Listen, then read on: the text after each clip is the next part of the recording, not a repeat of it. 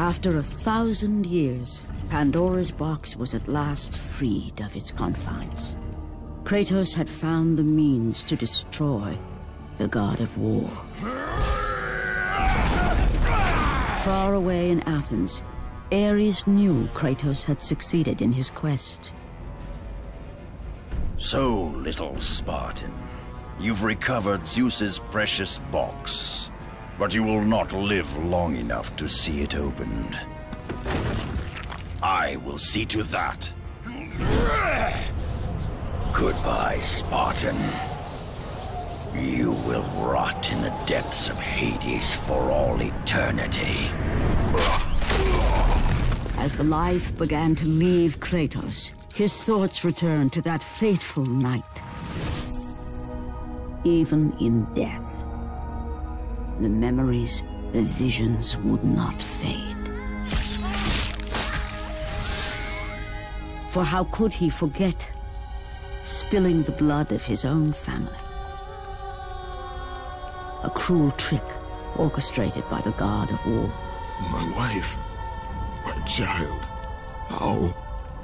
They were left in Sparta.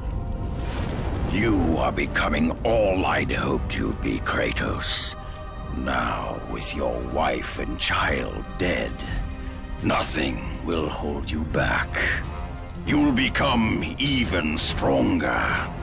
You will become death itself. But as the flames consumed the temple, Kratos realized his true enemy was the god who once saved his life. The same god who had now taken everything from him. From this night forward, the mark of your terrible deed will be visible to all. The ashes of your wife and child will remain fastened to your skin, never to be removed. And with that curse, all would know him for the beast he had become. His skin white with the ash of his dead family. The ghost of Sparta had been born. In the end, in death, he had failed.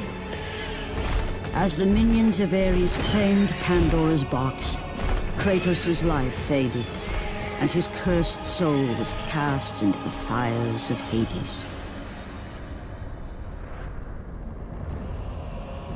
And Kratos fell into the underworld, the river Styx beckoning below, the currents strong enough to carry even the strongest mortal to his eternal resting place. But Kratos had no intention of resting yet. He intended to live, to return to Earth and complete his quest. Let go, fool!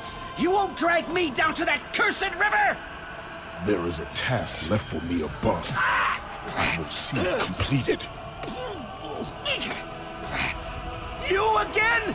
Oh.